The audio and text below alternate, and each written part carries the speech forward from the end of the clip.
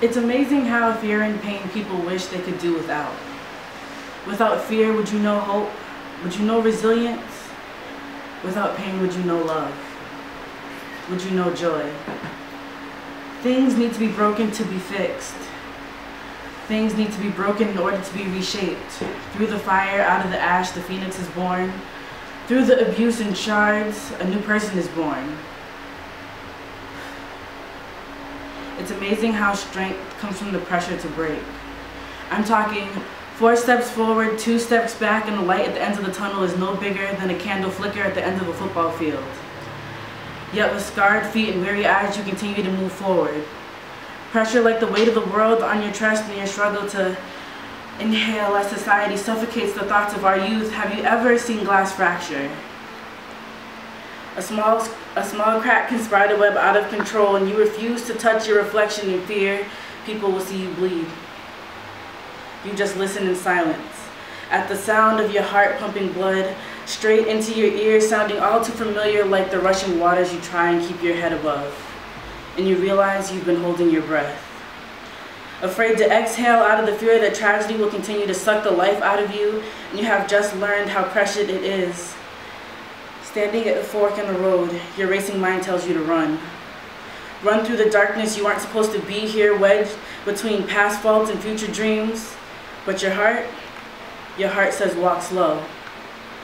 Feel the thorns beneath your toes. And keep your eyes open for the most beautiful rose. No one makes it out of a war unscraped, unscarred, or untouched. Like the swirls on your fingertips, no one's life journey is the same and everyone goes through pain but is all pain truly the same? Does everyone hear the screams inside, the tears you've cried, and the times you've lied? Does everyone feel the need to run, the need to bleed? Does everyone know the struggle to be seen? Standing there in the bathroom mirror, you glaze at your pupils and watch them become pupils as they learn the most horrifying details about you. They are the first to see the flaws and the last to see the strengths that lie within you. No one has 20/20 vision when it comes to themselves. We tend to be nearsighted. Relying on the retina of others as a mirror, you see your potential. You see the damage. You see your soul cracked, dry like the desert ground, unable to support life, lacking the nutrients needed to bring any dream into fruition, starved with self-hate and lack of faith, unable to, unstable. Every time the wind blows, the top layer blows away. Every time the rain comes, it washes more of you away. You are so broken, so broken. You are broken like a puzzle.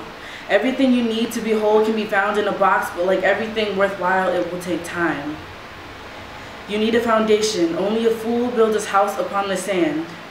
You need to teach the pupils looking at you from within your face to forgive. Forgive every time you made a mistake. Forgive every time she lied. Forgive every time he touched you. And forgive every time they took their own lives. As those pieces of the world crumble away, your rib cage expands as you inhale, allowing your body the first good nourishment since deciding to end your own life. Don't stop. Let the raging waters that threaten to swallow you become still and exhale without fear. Life is precious, and we have only begun to live, and we have only been given this one. So feel everything to the fullest. Cry every tear, harness every fear, and enjoy every year. Accept this truth. No one is strong enough to never ever be broken and love this truth. And the tragedy that surrounds you and the tragedy that surrounds life, seeds are planted and battles are won. Like the evergreen that grows from the wildfire, it takes the faith of a mustard seed and mountains will fall to their knees. They clasp their hands and recite, our deepest fear is not that we are inadequate, our deepest fear is that we are powerful beyond measure. Strength is power. What else could be used to describe those who survived being shattered like iPhone glass, being torn apart by the seams and left for vultures, left broken? This state of being is inevitable, but this state of living is not.